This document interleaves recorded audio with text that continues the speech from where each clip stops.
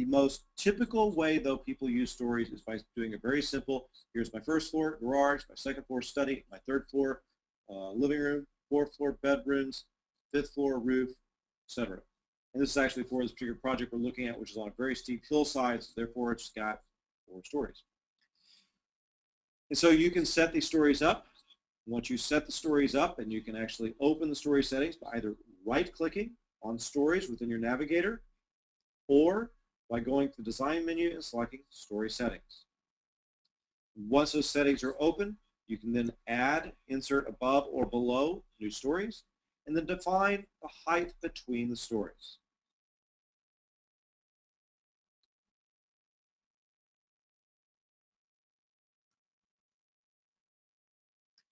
As you're working with stories, you may also want to be able to um, uh, reference a story above or below your current story. To do that, you can use something in ArchiCAD called trace reference. It's very simple. You go, again, going up to the top of your toolbars above. One of the tools is our trace reference, and that's turned on, and this is clicked out. You can actually select above or below current story. And you can also open up something called the trace reference palette below here. Trace reference palette opens up. A lot of people like to keep this on their screen. You can then also select above or below current story as well. When you do that, you'll see that particular story that you're um, referencing grayed out um, above or below your current story. You can snap to it. You can reference it. You can even change the reference color.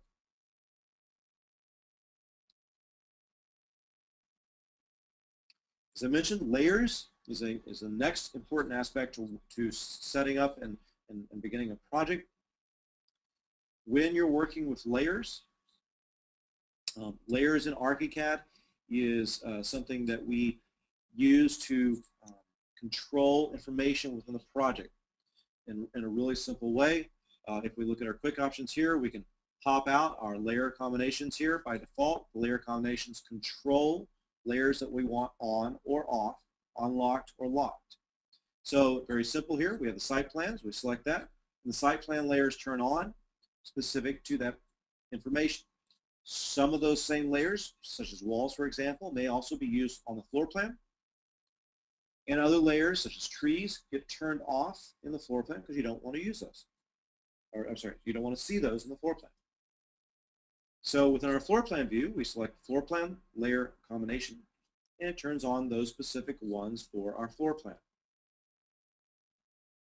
In this option, this, this, this, the, the use of layers is very important, not just for plan view, but really all views within ArchiCAD.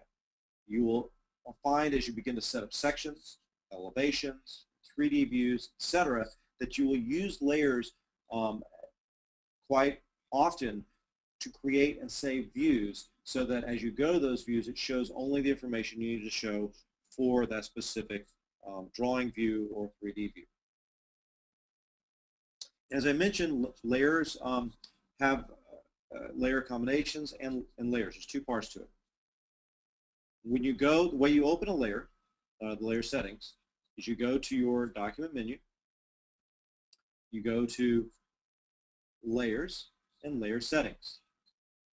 That will then open up our layer settings dialog. Within our layer settings dialog is two parts, layers and layer combinations. The layers are the individual layers that you, that, that you select as you begin to draft and draw and model. So for example, if I'm drawing a wall, I'm going to go select a wall layer. If I'm drawing a column, I'm going to select a column or structural layer, and etc. Once I have all the information on the layers particular to those elements, I then create layer combinations to control which layers I want on or off, locked or unlocked. So as example I just showed, floor plan over here, when I select it, would turn on or off layers particular to that particular drawing view.